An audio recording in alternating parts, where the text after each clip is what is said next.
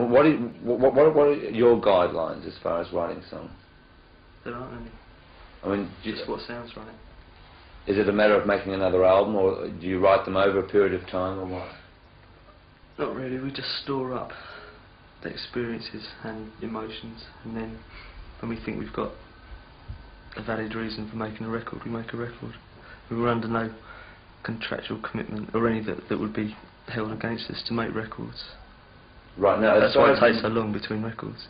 Right. So when you go into the studios, I mean, is it a matter of sort of um, doing it sort of almost like a live situation? Because I mean, like you're able to reproduce on stage very much like the records. I mean, like, well, I think you do. Yeah. Yeah, it is. I mean, it's generally for like practical reasons. The drums and the bass are done separate from the guitar and the voice. Right. You know, because for things like spill and boring things like that. We could do it all live. We could just set one mic up in the studio. and- Now, I'm not saying do you record in a live situation. No, I know, uh, but um, in, obviously it's, it's done in the same way. I mean, most of the things are first takes, because if they don't work in the first time, then they're not going to work. Or if they don't work in the first take, the song's changed.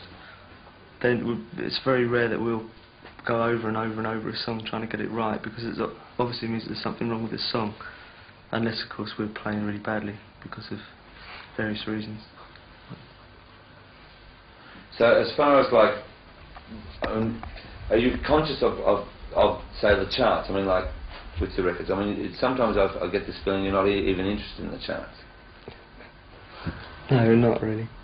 I mean, obviously people who release their records are interested in the charts. Right.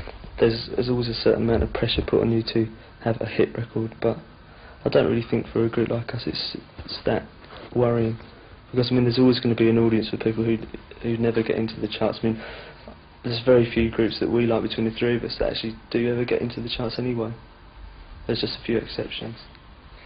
Well, the chart, charts are a reflection of, of obviously of, of like a general taste and and I think the general taste is usually pretty vile and it's awful because most people are